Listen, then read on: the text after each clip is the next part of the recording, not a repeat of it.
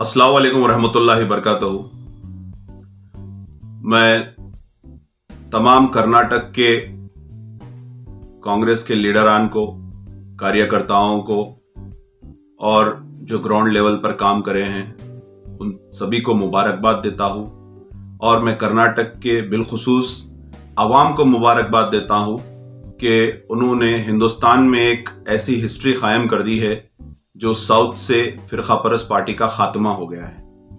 अब ये हमारे लिए एक मिसाल है कि फिरका परस पार्टी को कैसा हिंदुस्तान से हटाना चाहिए, ये कर्नाटक की आवाम ने बता दिया है।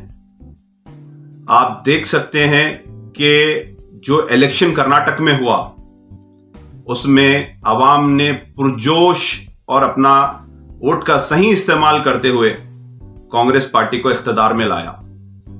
और मैं पूरी उम्मीद करता हूँ, जैसा हमारे कांग्रेस पार्टी का मैनिफेस्टो था, जैसा हमारे चीफ मिनिस्टर साहब ओत लेंगे, उसी फ़र्स्ट मीटिंग में राहुल गांधी जी ने कहा था, हम अपने पूरे वादे फुलफिल करेंगे। और कांग्रेस हर वक्त जब वादा करती है तो फुलफिल करती है। तो इनशाला जितने मैनिफेस्टो के वादे थे, वहाँ पे पूरे होंगे। और अब हमको तेलंगाना के बारे में सोचना है। तेलंगाना में के चंद्रशेखर राव साहब के पास कुमार स्वामी, जो जेडीएस के सदर है, नौ बार आ चुके हैं और केसीआर साहब ने कुमार स्वामी को काफ़ी मेहनत के साथ मदद भी की कांग्रेस को हराने के लिए कर्नाटक में, मगर फेल हो गए हैं। जैसा कि केसीआर साहब सेकुलरिज्म का बात करते हैं और बीजेपी को हर शोबे में, चाहे वो पार्लियामेंट में रहो या चाहे स्टेट में रहो, सेंटर में रहो, बराबर सपोर्ट करते हैं, जीत के आते हैं मुसलमानों के वोट से।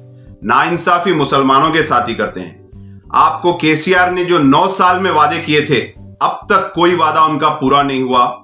ना कोई बड़े शोबों में मुसलमानों को बिलखसूस हमारे कोई आदमी को कोई शोबे में नहीं लिए।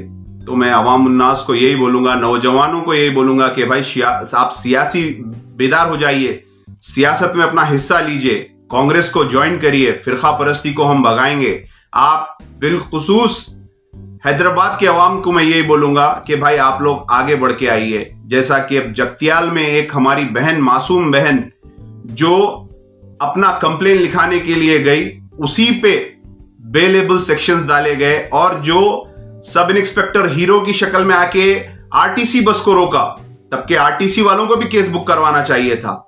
मगर उसके ऊपर बेलेबल सेक्शंस लगे। ये केसीआर की हुकूमत है। ये नाइंसाफी है। उसके बाद जगतियाल के नौजवान जो हमारा जमहूरी हक है प्रोटेस्ट करने का प्रोटेस्ट के लिए गए तो करीब 300 के करीब लोगों पर केसेस बुक हुए। ये ये जमहूरियत की भी पूरी केसीआर साहब वन टू कर दे रहे हैं। तो मैं अवाम उन्नास से यही बोलूँगा, बिलखसूस तेलंगाना के नौजवानों से यही बोलूँगा, आप लोग कांग्रेस ज्वाइन करिए, सियासी बेदार हो जाइए। मैं उस्मान मोहम्मद खान आपको सदर कांग्रेस प्रदेश कमेटी से लेके जाकर मिलाऊँगा। आपको हर वो चीज़ का राइट मिलेगा। बे, आप कंधे को कंधा लगाकर काम कर सकेंगे और ये परस्त पार्टियों को बिल्कुल हम दूर करेंगे इस मुल्क से। और रह गई बात दूसरी के एक हमारी तेलंगाना से बिलोंग करने वाली पार्टी जो बोल रही थी कि अब कांग्रेस में दमखम नहीं रहा। हिंदुस्तान से कांग्रेस बहुत जल्द खत्म होने वाली है। आपके मुँह पे भी ये तमाचा है कि कांग्रेस ने साउथ से एक ऐसी फिरका परस पार्टी जो पैर जमा रही थी साउथ में, उसको उखाड़ कर फेंक दिया है। तो सिर्फ़ अगर बीजेपी को कोई कॉम्पिट कर सकता है और कोई शिकस्त दे सकता है तो वह कांग्रेस पार्टी है। मैं तमाम अवाम उन्नास से भी यही गुजारिश करूँगा कि शूर बेदार हो जाइए, मुल्क की नजाकत को समझिए और हाथ से हाथ जुड़ा लीजिए। शुक्रिया अल्लाह हाफिज़।